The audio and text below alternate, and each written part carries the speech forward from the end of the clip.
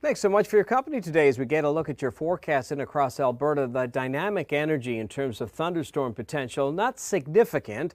Can't rule out certainly some thunderstorms, especially for central northern areas of Alberta. Then for tomorrow, it moves through the central prairies and then Thursday in across Manitoba. So the yellow indicative of some of that thunderstorm potential. Now, as we take a look at the moisture, this is something I wanted to focus in on.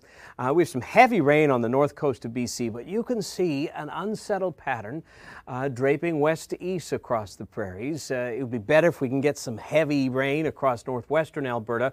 Not in the forecast, but we do have at least some rain. Uh, so certainly that would be favorable for the, uh, the fire conditions that continue. Uh, and uh, you can bet that the emergency teams are assessing that. But the other issue we're dealing with, of course, is the smoke. we have some dense smoke. It's going to be problematic across northern areas of Alberta and then also parts of Saskatchewan. We'll have more here on Canada's Weather Network.